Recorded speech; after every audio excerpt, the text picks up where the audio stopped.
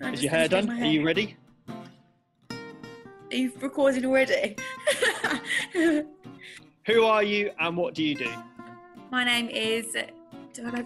Sorry, can we start this again? Sorry, this is going to take a long time.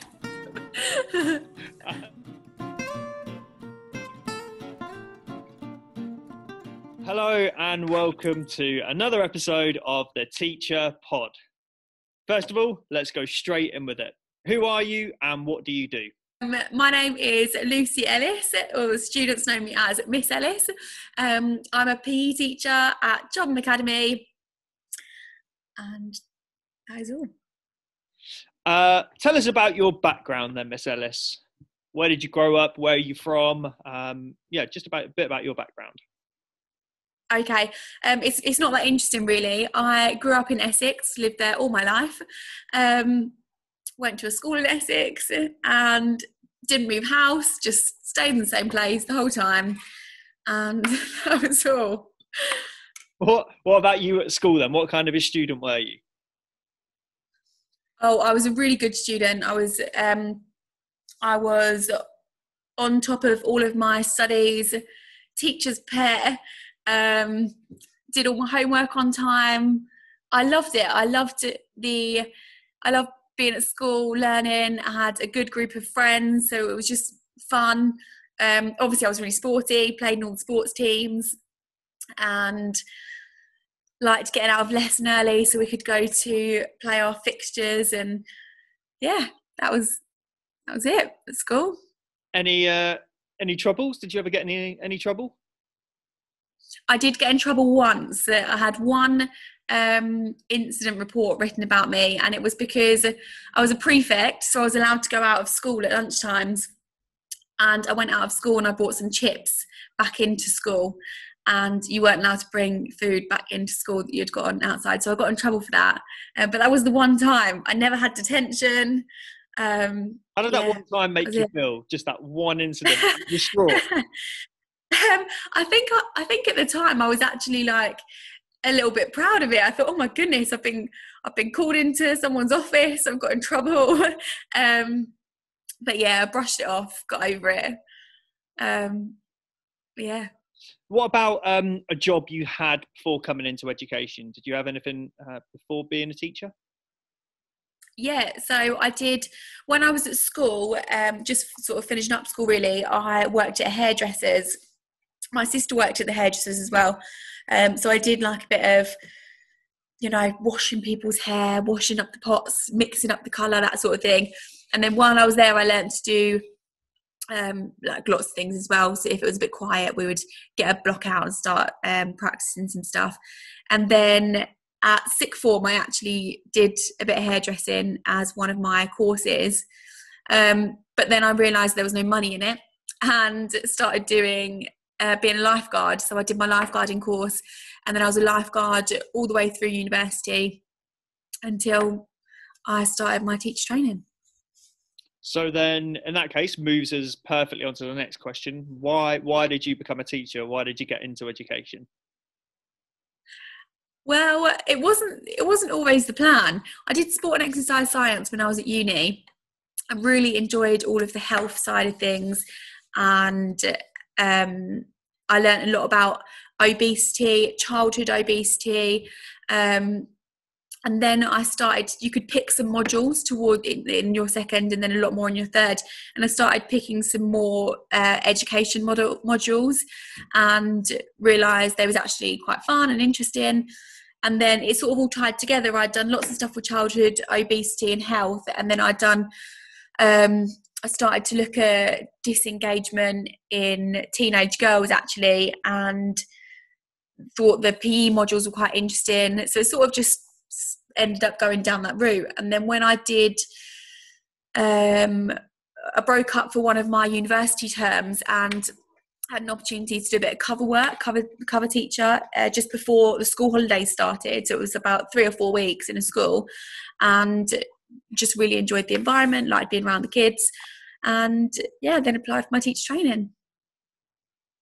So, what does an outstanding student look like to you? An outstanding student would be someone who arrives ready to learn and is in the right mood, mind frame.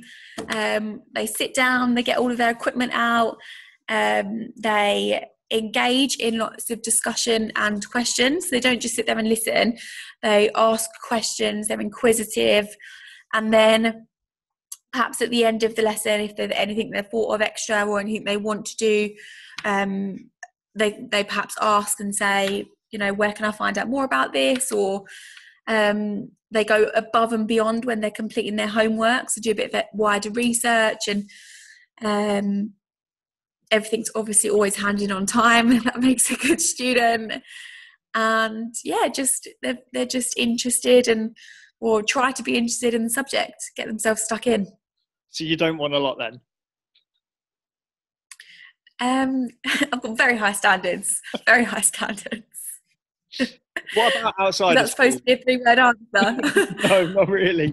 It could be anything. what about outside of school? What do you like to get up to at, at weekends? Um, well, I like to.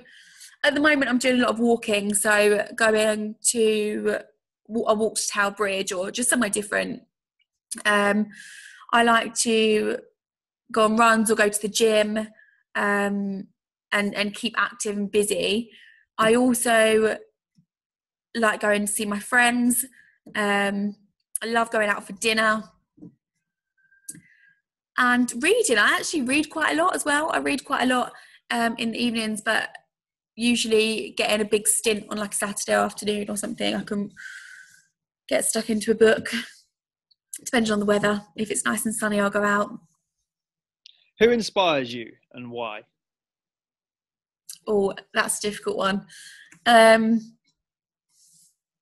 I would probably say uh, lots of people for lots of different reasons actually um, i won't go into all of them i'll start off with my mum because she is extremely hardworking she um, she didn't really get into a career from an early age. She sort of just had jobs to just sort of keep her going. And then um, when we sort of grew up, she threw herself into her career and just progressed really quickly. Um, and it just it sort of showed me and inspired me that um, hard work from a working point of view, hard work can if you really put in, then we get what you put in, basically. Um, but also she's just really caring and generous and will do anything for anyone and i think she makes me want to be like a nicer person um, so there's there's her and i suppose looking at um, you know the world of sport i would probably go with jessica ennis i think she's sort of smashed it in the world of sports and um, and then what, what she's gone on to do since and having a family and everything else, um, I sort of would look up to her a bit as, as well. And look, she's got lots of qualities that I sort of would inspire me. What's your favourite thing about Chobham Academy? Um, well, all the people I work with they are they just make the day nice. And the students make the day nice as well. When you come in and they're all so friendly and chatty and um, you know interested in having conversations and things. I think it's the people. I think the people make it um, what it is. And uh, it's just a friendly nice place to be and if you could go back to a 15 year old uh, miss ellis that was only a couple of years ago uh, but if you could go back to a 15 year old Miss Ellis, what advice would you give them and why?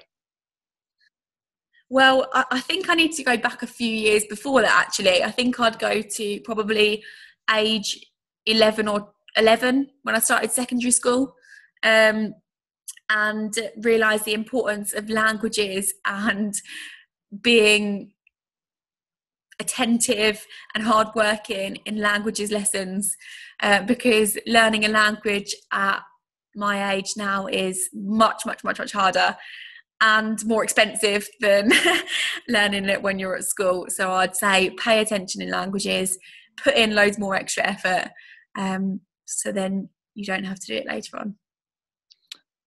thank you very much. Would you like to sign us out in Spanish? Because I know you've been learning it. Would you like to say, thank you very much, Mr. Avery, and goodbye, I'll see you soon? Something like that? Yes. oh, that, that, that's English. um, gracias, Mr. Avery. I'm still working on my accent. Um, gracias, Mr. Avery. Adios. Hasta luego. Ciao. Hey, go. Thank you. Adios. See you soon. Bye. Thanks. Bye.